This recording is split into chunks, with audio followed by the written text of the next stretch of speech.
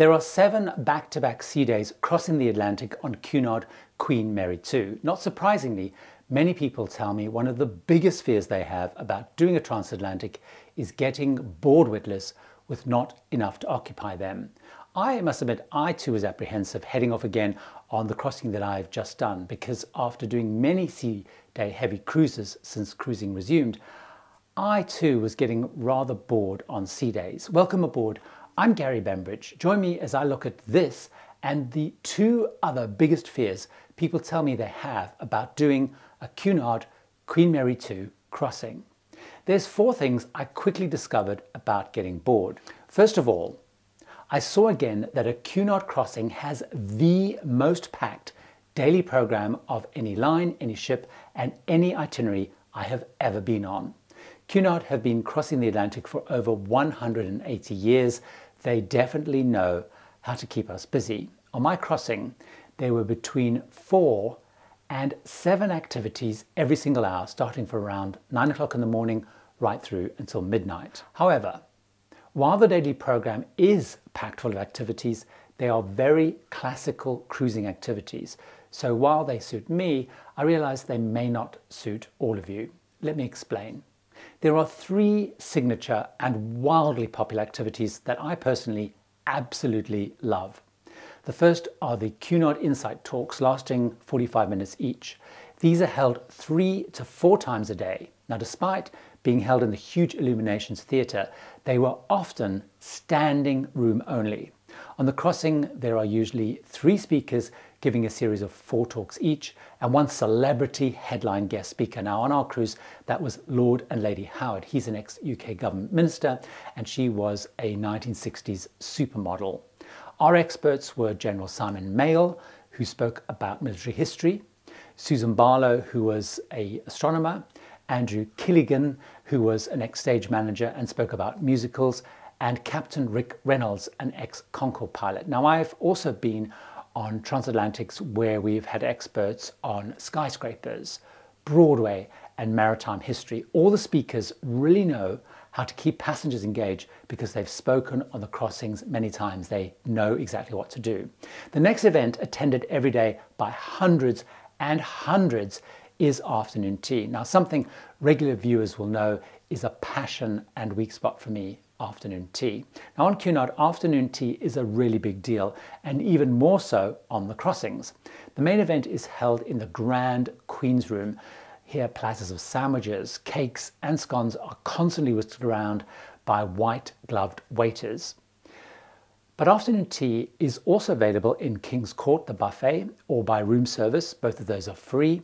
Uh, if you're cruising in Queen's or Princess Grill suites, you can also have it served in the Grills Lounge or you can have it self-served in the Grills Concierge Lounge. You can also pay, by the way, to have champagne afternoon tea in the champagne bar, or you can have a Godiva chocolate afternoon tea in Sir Samuel's coffee shop. The other signature event are the planetarium shows in Illuminations. Now, Queen Mary 2 is the only ship that has a fully active planetarium, and they run a series of shows every single day. So those were the three main activities that certainly stopped me getting bored, but there was a lot more to do that may actually appeal much more to you.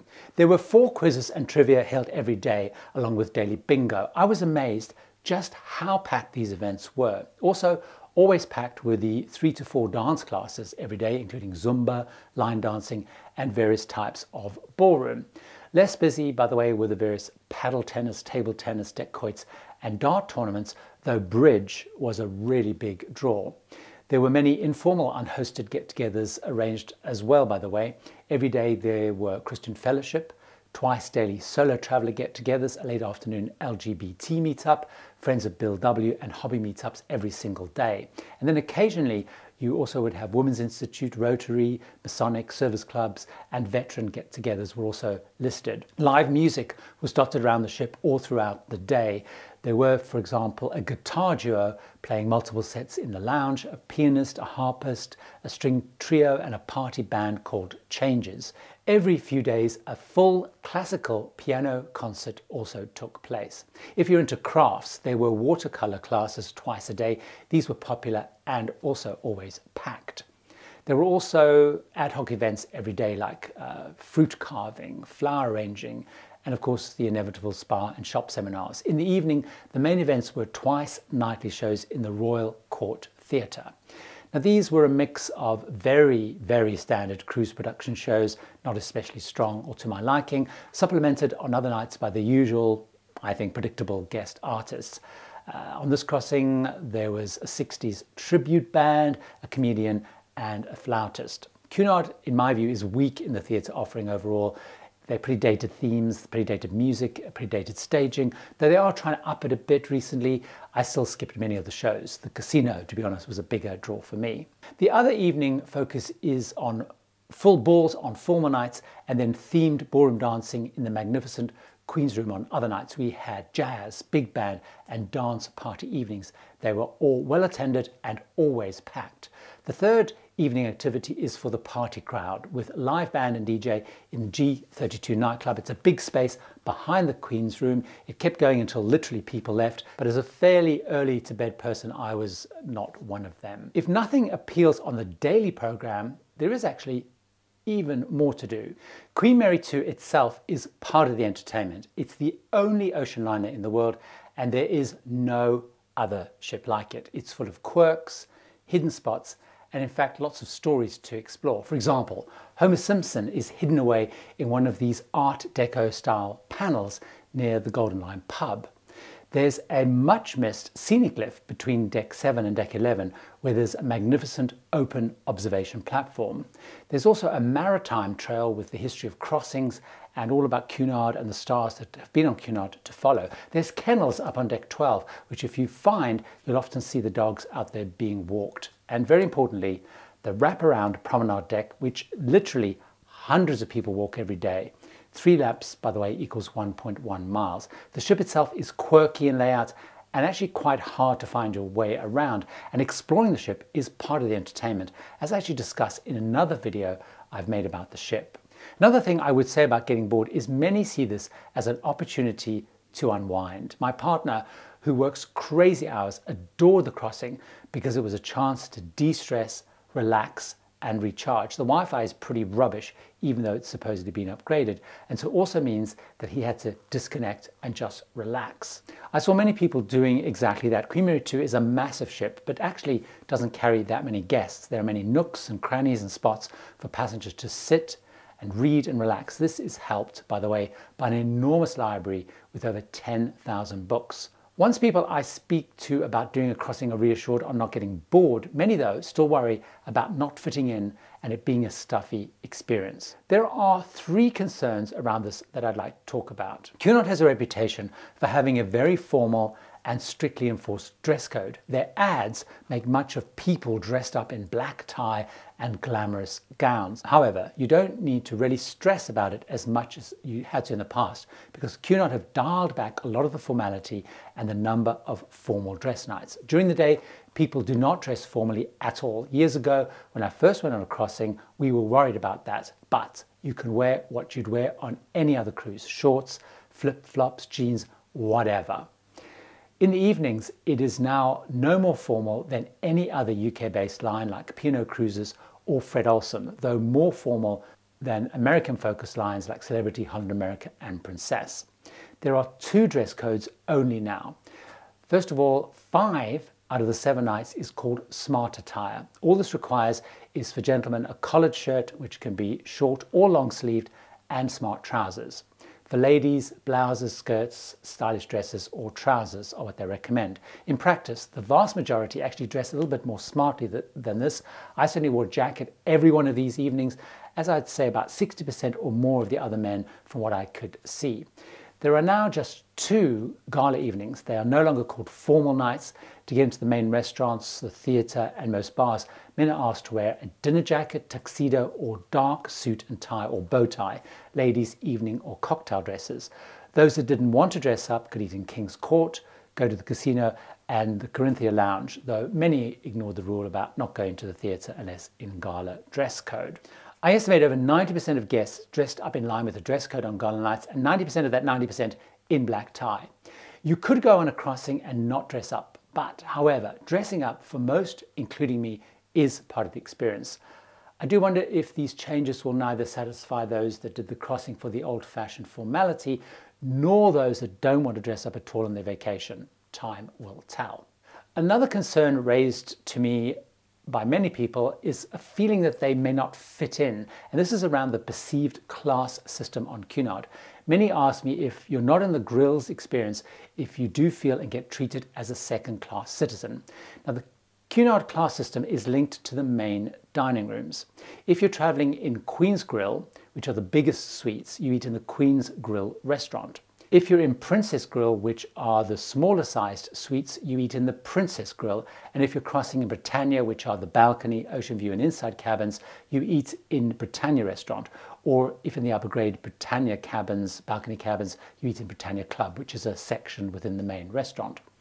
I believe about 85% of the passengers on board the ship are actually Britannia guests. So while Cunard make a lot of noise about the cruise experience, on board it is actually no different and probably not as segregated as on pretty much every other mid to large sized ship that I've been on. In fact, Grill's passengers have fewer, smaller and less spectacular facilities and areas dedicated to them than I've had when cruising in a suite on many lines, including Celebrity, Norwegian Cruise Line and MSC Cruises, while other lines are creating access controlled ship within a ship for suites like MSC Yacht Club and Norwegian Haven, on Queen Mary 2 there is only, in addition to the restaurants, a grills lounge, which is rather uninspiring, and the public ones are in fact much, much nicer.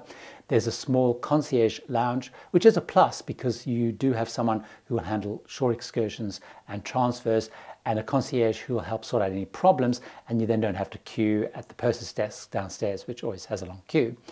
There's also a small grills deck on the rear of the ship with a hot tub, which very few people use that deck on a transatlantic crossing because the weather isn't actually that great for sitting out anyway.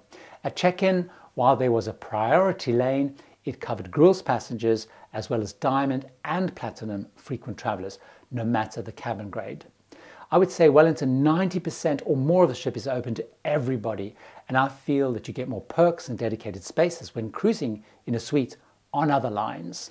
I get asked often if a Cunard crossing is only for older travelers and if it's full of snooty, stuffy, posh people. This is not my experience at all.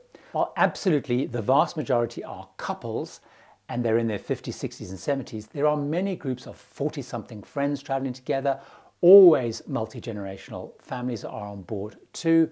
Plenty of solo travelers too, helped a little bit more by the solo cabins that Cunard have added to the ship.